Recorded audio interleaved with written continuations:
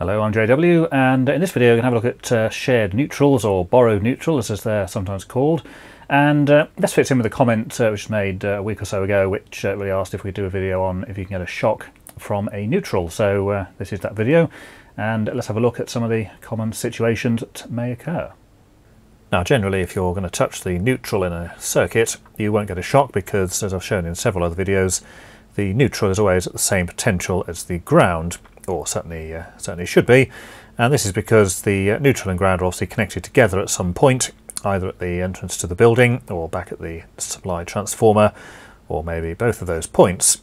However, there are circumstances where the neutral can attain a voltage above the ground, and of course it's those situations where you can get a shock from it. Now just have a look at a uh, very simple circuit, so uh, put in a uh, line here, let's use the red for that, and of course have a corresponding neutral as well. And uh, for this one, we'll just draw some sort of thing in here, say a uh, filament lamp would be uh, example, but uh, could be any kind of load, it doesn't really matter. And of course, we just connect the line and neutral to that. And of course, the, the uh, light will switch on, and uh, nothing unusual about that. So if you were to touch the neutral in this case along here, you won't get a shock because all of this is going to be at the same potential as the ground. So not a problem there. Obviously if you touch the uh, line side here then you will definitely get a shock because it's going to be at the mains potential, so 240 volts or whatever it is. Now to make this slightly more accurate of course there would normally be a uh, switch of some kind in here so we've just put that in uh, like that. So this might just represent say a lighting circuit for example, uh, obviously a very small one with only a single light on it but of course switch is closed, the light comes on and the switch is open as it is there the light does not work. So uh, perfectly safe there, and you can obviously touch the neutral even when the light is on because you're not going to get a shock as this is obviously all tied to the neutral connection in the consumer unit or fuse box. Now one possible way you could get a shock from the neutral here is if the neutral wire became broken or damaged, say about this point. Now of course if you touch this side, again you're not going to get a shock because it's still connected to the neutral for the rest of the system, but this side here isn't really neutral anymore because it's just a piece of wire that happens to be connected to one side of this lamp. And of course with the switch open uh, nothing will happen, but if the uh, switch is closed then of course the light's not going to work because uh, there's no actual path for the current to flow. But the point here will now have a voltage on it because uh, essentially it's just floating around the air, there's no return path, so uh, this is going to be at or near the mains voltage. And if someone was to uh, touch this, uh, just again standing on the ground here,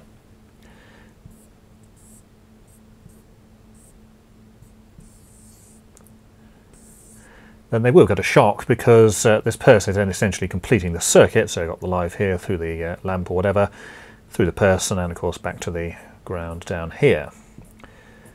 But of course this isn't really a neutral in this case because uh, although it might be uh, sort of black or blue in the case of the uh, modern colour wiring, it is actually just connected uh, back to the live there and it will just sit there with a voltage on it until uh, either a person completes the circuit or obviously the damaged part is repaired.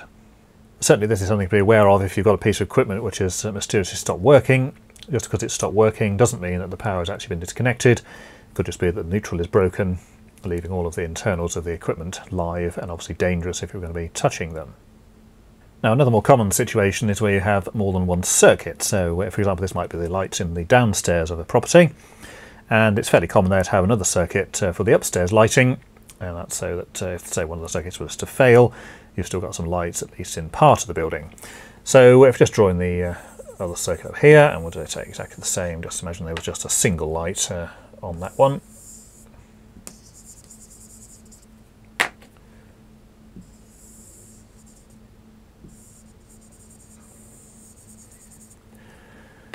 So there we've got two completely separate circuits. Uh, obviously if the switch is on, the uh, lights will work. Uh, obviously in the situation there, of course, they will not. And that's perfectly fine, uh, no particular problem there. But uh, what can happen, and is actually reasonably common, certainly in older properties, is that somebody wants to then add an extra light in the stairway of the property, so that's neither really upstairs or downstairs. And they wanted to have it to be switched from both upstairs and downstairs, which means putting uh, at least one or more cables between the two floors. And what can happen here is that uh, we might say connect the new light into the uh, circuit downstairs. And we'll have a switch for that as well.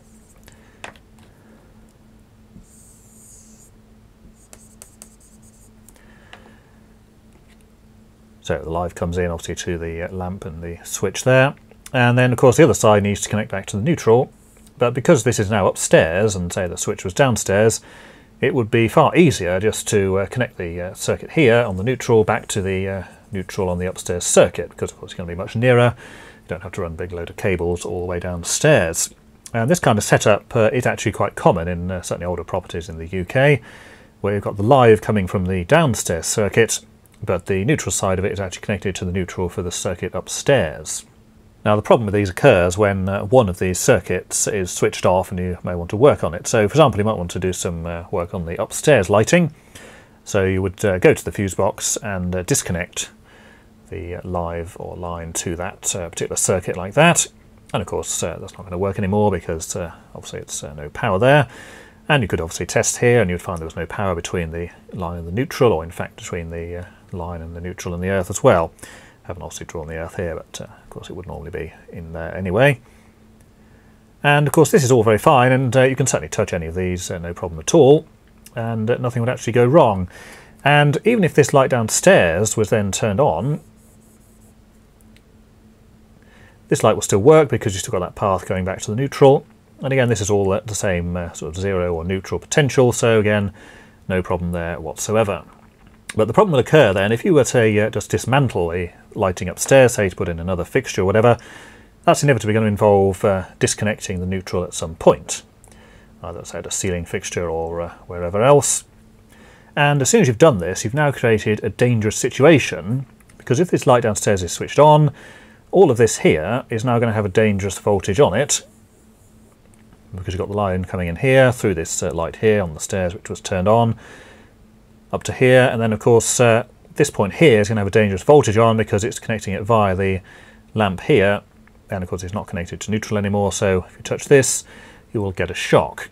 And the same would apply to uh, this point over here or within the switch or the point you've disconnected there. Because again it's all connected via the uh, lamp here and it depends whether the uh, switch is closed or not for this point. But essentially the whole of the circuit there is going to have a dangerous voltage appearing on it simply the fact you've got this interconnection with the circuit downstairs. And bearing in mind this only shows up as a dangerous voltage when this switch here is actually on. If this was left turned off, then there's no connection there and of course none of those voltages will appear and you wouldn't actually know that anything was wrong. Now this of course is just one uh, example and it's probably the most common with the uh, interconnection between the upstairs and downstairs lighting circuits. But a similar thing can occur between any circuits. Uh, the thing you don't want is to have the uh, line from one circuit and then connect it onto the neutral for a different one, because this could occur between any two circuits. That's why it's essential that uh, if you're going to make any alterations or install any kind of electrical wiring, you need to make sure that the uh, line and neutral all belong to the same circuit and there's no interconnections between different circuits anywhere in the building. Now many houses have this type of arrangement and in most cases you wouldn't actually notice that it was there because whilst all of the uh, wires and cables are connected all of the lights will work as you would expect, they'll switch on and off and no problems will occur. And it's only really when you start uh, undoing and dismantling parts of things that uh, this kind of situation can occur. And the other time that it uh, usually shows up is when people have a new consumer unit fitted, they may have some old uh, fuse box or whatever, and they decide to have a new consumer unit fitted, which of course includes one or more RCDs. And the uh, situation in the UK now is that uh, generally new consumer units uh, will have at least two RCDs in them. So you might have a uh, consumer like this, a uh, main switch, which will be a uh, two-pole device, and then you'll have one RCD here, and the second RCD here, and then each of those would provide uh, power to a selection of circuit breakers. Just put three in this case, and we'll put uh, a couple over there. And the situation is that the uh, RCD here will cover those circuit breakers there, and then the other RCD will cover those circuit breakers over there. And the idea with these is that uh, because you've got two, then of one of them going off, you've still got power in uh, probably 50% of the house. And in order to uh, divide this up in a sensible fashion, you would typically have, say, the lighting downstairs here and the lighting upstairs over there, so that uh, if one of the RCDs was to trip, you've at least got some lighting in part of the building. And of course you'd put sort of downstairs sockets and upstairs sockets in the same kind of configuration. This is not a configuration I particularly like or generally install, but uh, nevertheless there are plenty of these around. So if we're going to put our, uh, say, downstairs lighting here, and our upstairs lighting over there, well, that seems perfectly sensible. But the problem then is that if you've got this kind of arrangement uh, with this uh, shed, the problem is if you've got this kind of arrangement where there's uh, a circuit taking power from the uh, downstairs and returning on the upstairs one, then it's simply not going to work if you've got two RCDs because, of course, RCDs work on the uh, current going out and coming back being exactly the same. But if you've got uh, a circuit here supplying power to a light fitting and then it's coming back on this side, you're going to have an imbalance between the two. And the usual result is that uh, both of the RCDs will trip, sometimes just one, but uh, quite often it's actually both of them, as soon as somebody turns on the light in the stairway. And if the light in the stairway is not turned on, then of course all is well, it all works uh, perfectly fine, and you wouldn't know there was a problem.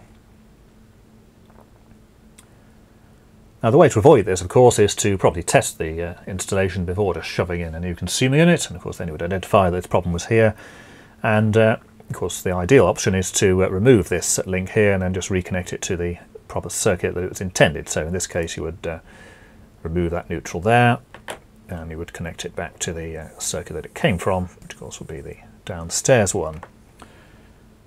Unfortunately, in a house, that's usually going to involve uh, cutting out walls and lifting up floorboards and a fair amount of extra work. So uh, the other thing that uh, can be done, and is done quite often, is to put both lighting circuits onto the same circuit breaker. So you would have upstairs and downstairs all on the same circuit breaker there. So you're essentially making the whole lot into a single circuit and thereby avoiding nothing tripping.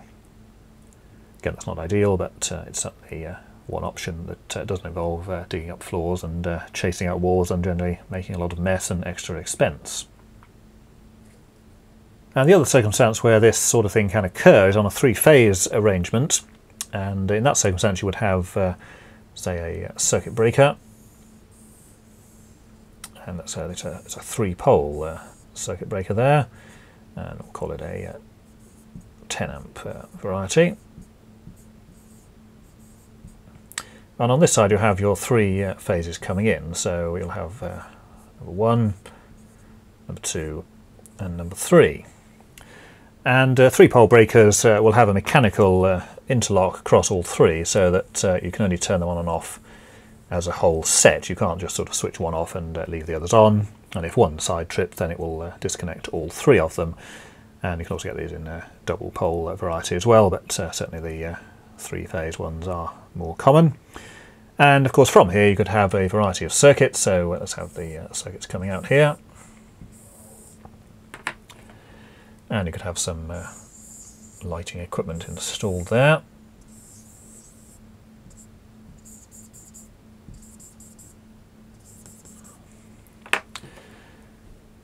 And the neutrals from these, uh, it's quite common to have just a single neutral for all three. So the neutral would come from here, and it's actually the same cable that would go to all of the light fittings.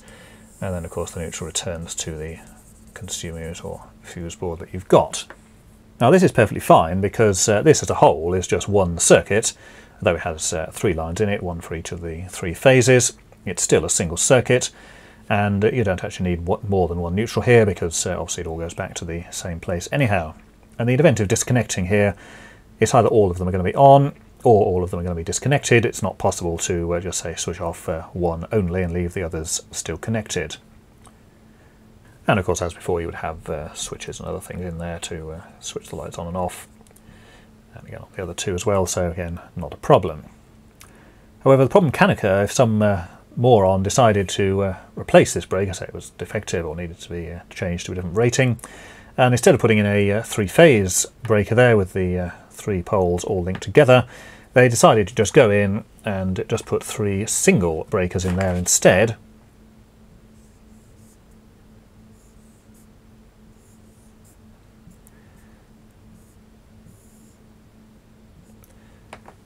And of course in this situation you've now essentially got three different circuits, all of which are now connected to a single neutral. So if you were to uh, switch off one of these, or two of these, say uh, let's just turn off here and turn this one off, And I think, oh, that's fine, that's uh, no problem there. And you'll disconnect the uh, neutral here for the circuit to uh, obviously isolate it properly. But of course, uh, it's not isolated anymore because uh, this one here is still connected.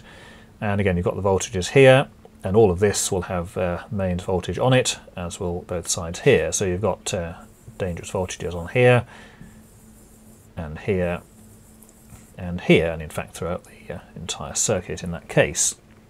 And so this has only occurred now because you've got three separate circuit breakers here, and essentially it's now uh, three separately controllable circuits. Whereas if you had that uh, link in place, of course, it uh, can only be switched off as a whole, and then it will be obvious that uh, there's no power going to be on any of those, so uh, the single neutral would be permitted there. And if you're going to have three separate breakers like this, which would be a fairly unlikely situation, then the correct thing to do is to, uh, of course, put the wiring through as we had before, so uh, each of those would go through to there. But if these are going to be separate, then you can't have this uh, single neutral arrangement.